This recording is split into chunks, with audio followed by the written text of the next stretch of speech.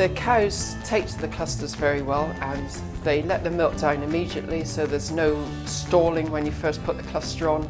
and they're very happy with them, no kicking off.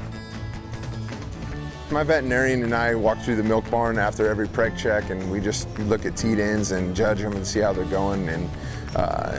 we, since using the Impulse Air liner we've noticed they've gotten better and uh, the teat ends have, have, uh, have greatly improved here.